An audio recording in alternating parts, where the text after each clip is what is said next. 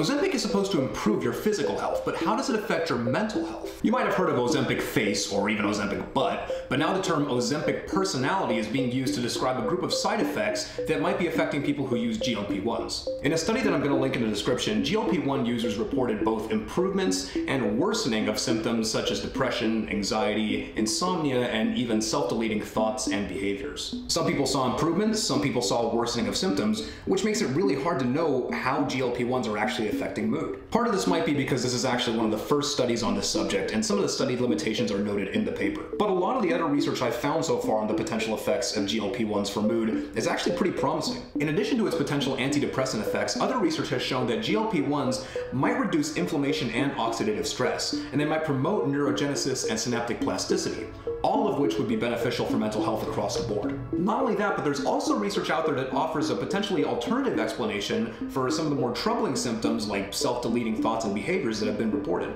It turns out that the rapid weight loss that GLP-1 users experience can actually be tough on people mentally. It can dysregulate hormones like cortisol and norepinephrine, leading to increased physiological stress, and even things like unmet expectations and newly arising body image issues can cause worsening mental health. This is a very new area of research that's really just starting to emerge, but I thought that I would share some of the research that's out there right now just to give an idea of where it might go in the future.